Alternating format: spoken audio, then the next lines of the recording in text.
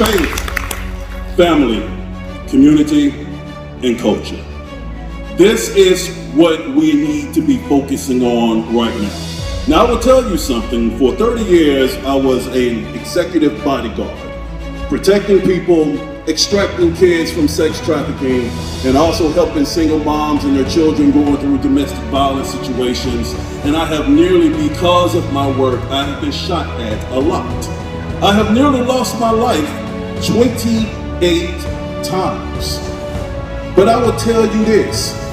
I'll always say about to our Lord, it is a pleasure to lose my life for you. Because once I wake up, all I want to hear is, well done, good and faithful servant. Y'all don't right now. Now let me continue because the work that I do right now, I work with young kids who are going through darkness, who are going through the brokenness, who are going through broken homes and gangs, and I'm in the alternative schools.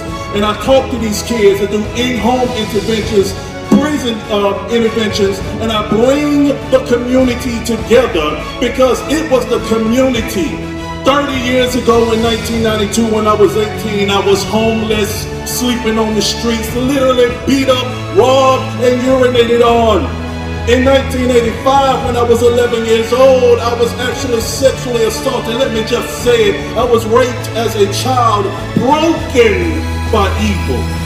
But the thing that built me up when I'm talking to these kids in their houses and their moms and their dads going through all this brokenness, if God can pick me up, he can pick you up.